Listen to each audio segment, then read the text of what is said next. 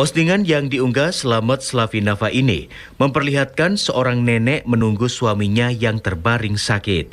Foto lain kondisi rumah Pak Sutri yang tidak layak huni ini. Di caption foto rumah yang dihuni tidak teraliri listrik dan ironisnya anak mereka memiliki gangguan jiwa. Pak Sutri kakek nenek ini diketahui bernama Juhar 82 tahun dan Rusni 60 tahun warga Bayusari Gang 8 Kelurahan Kebon Sariwetan Kecamatan Kanigaran Kota Probolinggo.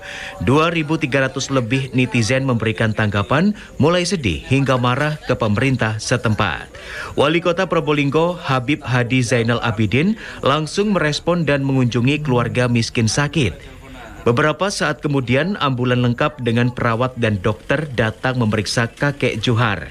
Diagnosa sementara kakek Juhar menderita pembengkakan jantung dan penyakit gatal-gatal akut.